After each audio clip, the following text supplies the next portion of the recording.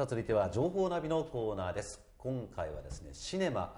ミュージック情報です、えー、ご案内いただきますのは映画監督の田中幸代さんとその映画、ね、音楽監督として、えー、やりました小林ライさんにお越しいただきました。どうぞよろしくお願いします。よろしくお願いします、はい。もうライジさんはね、えー、ほぼ準レギュラーということで、えー、そうなっちゃいますよね。なっちゃいますよね、えー、お越しいただいておりますので。田中さんのちょっとご紹介を、はい、えー、ライジさんから、はい、ありがとうございますこの度ですねこの、はい、ねご覧いただいて分かります通り「えー、タンポポ」という映画をね、はい、作りましてそれの監督でいらっしゃいます、はい、えー、田中幸四郎君でございます。よろしくお願いいたします。その田中さんは実は学生でいらっしゃって。そうですね、はい。えー、高崎経済大学の3年になります、3年生。はい。ですね、えー、でこの「タンポポ」という映画、えー、田中さんが監督それ脚本もね、えー、書いて作ったんですけどこれどうして作ることになったんでしょう？そうですね、えー、っと僕はこの高崎に来て、まあ、大学に通い始めてですね、えー、短編映画をこう作る機会が、えー、何度かありまして、はい、まあ、その中で本当に映像を作る楽しさっていうのを感じていったっていうのと、えー、群馬県内で町映画というものに関わってそこであの役者として演技をさせていただく経験がありまして、はい、まあ、その中で本当に、えー、映像というものが大好きになって、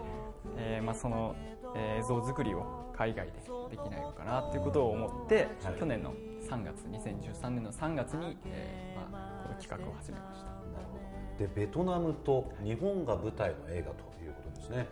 あの先ほど田中さんもね、えー、言いましたけどあの藤橋誠監督の「漂白」というね玉丸町舞台の映画にね役者として、えー、田中さんね出演していた経緯もねあるということです。あのその日本とベトナムの舞台の映画なんですけどこれストーリーというか内容は脚本ももちろんね書かれたということですけどどんな内容なんでしょう？そうですね。えー、っとまあ基本的にはあの僕のえー、通っている大学の高崎経済大学の学生が、えーまあ、海外に行って、はい、えー、まあ、自分もこう見つめ直すというストーリーになってますね、はい、えー、高崎にいていろんな夢を持っているんですけどなかなか踏み出せずにいる学生たちが海外という場所に行って、まあ、ベトナム人と一緒にあの行動を共にしてあのその人たちと関わっていくうちにまた新しい、はい。えー、自分をこう見つけていくというストーリーになってます、まあ、これまでねあのショートムービーっていうんですか、は映画監督としてねやってたみたいですけどもあのこれ中編っていうんですかね、まあ、約1時間前後。で監督は初めて。初めてですね、ね、撮ってみてどどうですか？いやもう本当に大変だったっていうのが正直な感想で、はい、あの中編映画になるということはもちろん役者さんも増えますし、はい、えー、今回あのベトナム人の方にも3名出ていただいたので、はい、えー、演出をつけるということはもちろん大変でしたし、えー、1時間という時間の中でどういうふうにあの盛り上げて、えー、どういうふうに落とし込んでいくのかということも考えると、まあ、本当にいろんな経験をしましたね。で、えー、その映画の音楽を大地さんが担当したと、はい、いうことでございまして、うん、最近が生やしましたね。そうなんです、はい、いつの間にか。芸費が。芸費ね、ね、けどどんな音楽をこう当て込んでいったというかイメージ的に作っていったんですか？なでもね今回の、まあ、映画でいきますと、はい、あのこの監督の幸代君の中に、もうある程度音のイメージがあったみたいなんですよね。それに対してこうどう、えー、うん、その監督のイメージに合う音をつけられるかどうかっていう感じなんですけどどうですかね？そうですね。もう本当に全ていただいた曲全てが本当にドンピシャっていうかもう1ヶ月2ヶ月の中で映画の中での音楽の存在の大きさっていうのも改めて感じたっていうのが正直本当にライズにありがとうございましたありがといます。っていう感じです。けどけど本当にやっぱりね映画っていうのは音楽なくしてはね、えー、成り立たない部分があります。んで、まあ、イメージ通りにねライズさんに作ってもらったっていうのがね、本音だと思います。けどぜひですからね映画見てもらいたいんですけれどもこれあのどこで監督見られるんでしょうはい、はい、えー、っと本日から、えー、行われています。高崎経済大学の、えー、学園祭三つ扇祭で、はい、えー、ご覧いただき。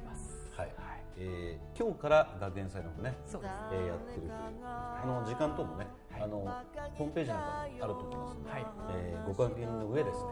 えー、見ていただければ映画とそれからライさんの音楽と、ね、このマッチングが素晴らしいぞというのが分かっていただけると思いますので、えーね、学園祭に行っていただけたらと思いますけどもあの実はあのこの映画ですけどもえー、もう少し発展させていきたいそうです感じなんですよね。はい、はい、何よりもやっぱりベトナムで上映するということを、えー、目標にしています。ので、えー、来年の2月ですね、えー、また作ったメンバーと一緒に行って、ベトナムの方に見ていただくということを、まあ、最終目標として。でそのために今お金を募ってる。そうですね。ね、えー、ここが重要です、はい、肝です、はい、えー、僕たち学生なもんでして、はい、お金がないのですその中でそのクラウドファンディングというシステムを使って、えー、30万円を、集めています、えー、ネット上で、えー、皆さんにこう寄付を募って、えー、僕らがまあ考えたそのリターンと、えーまあ、引き換えにお金をいただくということをしていますのでぜひあの応援していただけたらなと思います、えーまあ、趣旨に賛同していただいてね、はいほんあのベトナムでも上映できるように、えー、力を貸していただければと、えー、いう企画でございますんで、ね、ご理解いただいてご協力をお願いしたいというふうに思いますけども、まあ、まずはこのタンポポね見ていただければというふうに思いますけどね、えー、今回は、えー、シネマミュージック情報ということで、えー、田中監督と小林来さんお越しいただきました。どうもありがとうございました。ありがとうございました